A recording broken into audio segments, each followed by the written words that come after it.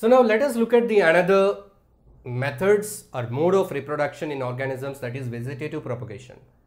Vegetative propagation,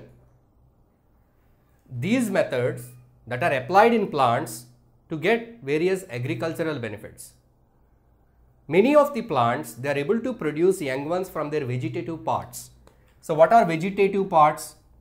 Plant having different parts like leaf, stem, roots, flowers, fruit, seeds, buds. Out of this, flower is the reproductive part of the plant. Pollination takes place in the flower, fertilization takes place in the flower, the flower it turns to fruit, it bears the seeds and the seeds they sprout up into new plant. This is sexual reproduction in plants.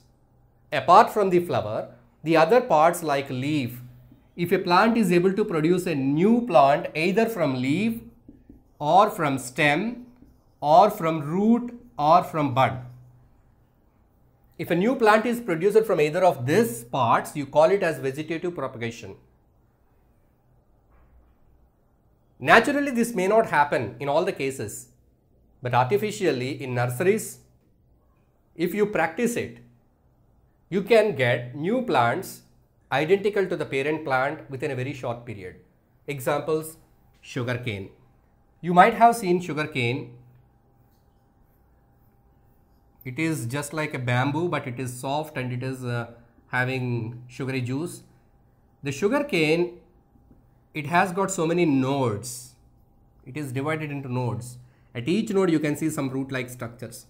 If you cut the sugarcane into parts, and we have to see that each part contains at least one node, and if you plant that part in the soil, you will get a new sugarcane plant. That means from stem, stem cutting.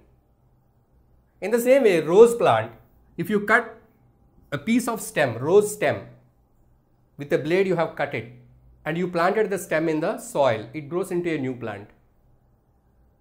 What is the benefit? See, you have gone to your friend's house. There you have seen a rose which you liked the most. You thought it is the flowers are most beautiful. You wanted some rose plant with the same kind. You cannot get the same kind with same color, same brightness. You may go to nursery and find out. Very difficult. So you wanted to have the same kind of plant at your home. So then you can ask your friend's permission and then you can cut a small stem, a part of the stem, small branch. Then you can take this rose branch to your house and you can plant it in your pot. After a few days, it will produce roots and it grows into a new plant. And it will bear the flowers exactly like your friend's plant. Genetically, they are identical. Reproduction is very simple. You wait till the rose gives you the seeds and if you plant the seeds, you may not be able to get the same kind of plant. Because this plant might have undergone some cross-pollination. So by sexual reproduction, if you collect the seeds of this plant and sow that there, you may not get exact copy. But by the method of this stem cutting, stem cutting is one of the vegetative propagation, you will get the exact copy. So there are different methods of vegetative propagation like cuttings, cuttings, stem cuttings, grafting, grafting, layering. These are the various methods by which we can produce new plants from the vegetative parts of the plants.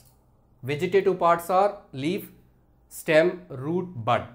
From these we can get the new plants with the identical characters. So this is the advantage of the vegetative propagation which is widely used in the plantations that is in the fruit plantations, vegetable uh, cultivation and flower floriculture, culture of flowers.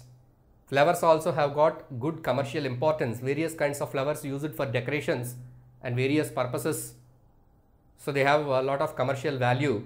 This kind of plants are also propagated so quickly in the nurseries by following the vegetative propagation methods. If you like this video, please give a thumbs up. Please subscribe to our channel to get more videos on CBSE syllabus.